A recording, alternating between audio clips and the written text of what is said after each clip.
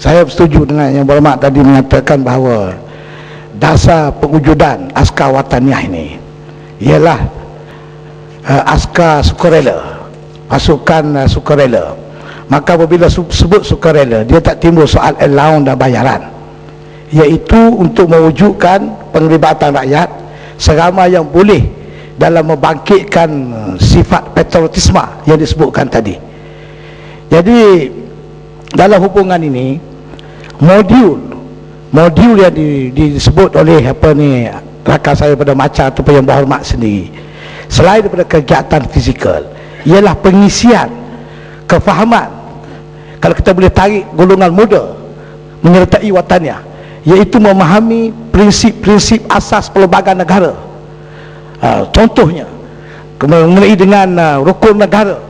Dan apabila timbul semangat patriotisme seumpama ini saya pada latihan fizikal bila datang hari perayaan kemerdekaan 51 Ogos contohnya akan keluarlah berduyung-duyung mereka-mereka ini daripada pasukan wataniah mengibar bendera Malaysia menyambut hari kebangsaan.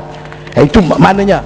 Kalau jadi tak timbul soal saya tak setuju dengan rakan saya macam soal soal bayaran. Jadi ini bukan soal bayaran. Soal apa ni pertahanan negara daripada golongan rakyat uh, secara sukarela.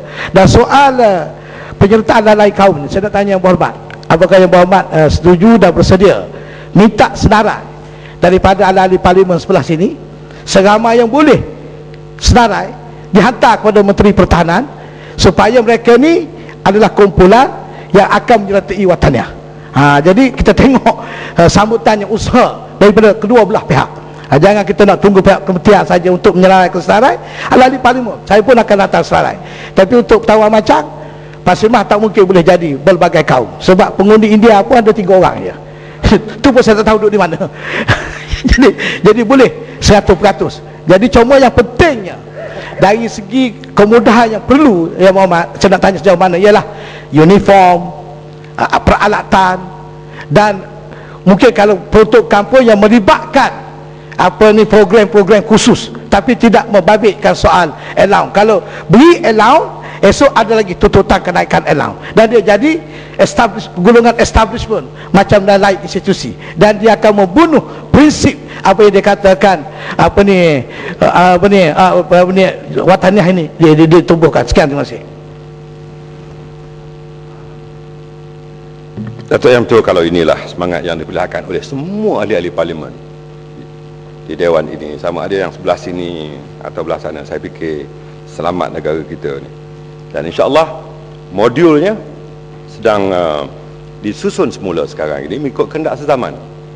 Atau yang betul kerana uh, ianya dipersesuaikan dengan uh, keadaan dan era yang ada sekarang ini di mana uh, electronic warfare peperangan uh, elektronik ini menjadi perkara yang telah uh, diajukan uh, oleh banyak negara-negara maju Namun saya rasa kekuatan anggota ini harus ada sebagai satu sokongan uh, uh, semangat uh, kepada anggota tetap yang sudah ada.